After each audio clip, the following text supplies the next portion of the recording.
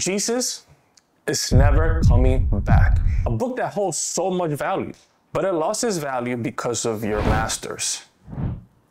The Bible. It has many versions, but only has one translation. That translation is not the translation that Christianity or the churches are giving you. Jesus' resurrection was something much bigger than someone coming to life and being lifted into the sky. With the answer on how to behave with each other, with the answer of who Jesus is, with the answer of who the devil actually is, the Bible holds a lot of truth, but it's not the correct translation that you're being given by your masters. And if you want to know how to actually understand the Bible, stick around because I'm going to give you the actual translation. And trust me, this is not for the sheep. This is for people who want to wake up. So if you're a sheep, you could just keep going along. This is not for you. The Bible story of the ascension of God suggests that a man rose from the dead and then lifted himself up to the sky where he disappeared into the clouds.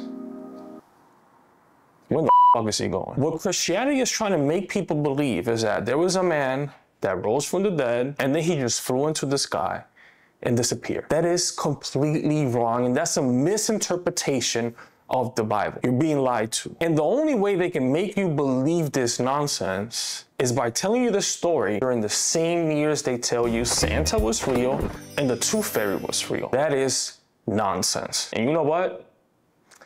The Tooth Fairy actually owes me some money. I don't think I'm gonna get that money just like Christians are not gonna get the resurrection of Christ. this story is a joke, ladies and gentlemen. Give it up let it go, grow up. Because hypothetically, if there is a 30 year old man who has never heard that story and you tell that man that story, he would tell you to go yourself. But the only reason people don't argue with that story is because they tell every single person on this planet that story and they make sure they tell you that story during your early ages. Now, let me set the record straight. I do believe in the Bible, number one, and I do believe in Jesus. I just know that Christianity is completely wrong. Now, I'll bring science into this video just to set the record straight. Two things that science says, especially quantum mechanics. Science says two things. Everything in this universe is made out of energy. That includes the human body, that includes this camera in front of me, that includes you, planet Earth. Everything in existence, 99.99% energy. Now, fact number two is that energy cannot be created nor destroyed. So if energy cannot be created or destroyed, that would suggest that you existed prior to being here on earth. Now, with that being said, there are two definitions to Jesus' resurrection. Jesus' resurrection wasn't him coming back to life after death. Jesus' resurrection was when he died, he returned to life because we came from somewhere. We didn't just appear here because energy cannot be created nor destroyed. That would suggest that we existed prior to Earth. We went from one state of consciousness to another state of consciousness. When Jesus died, he went back home. As the story says, he rose into the sky and returned back home to God. And that is exactly what happens when you die. Jesus' resurrection was him going back home to God. Now, there's another definition. Romans 8:10 and Romans 8:11 both suggest that Christ and Jesus, they dwell inside of you. Jesus is already inside of you, is within you. Now, you want to resurrect Jesus?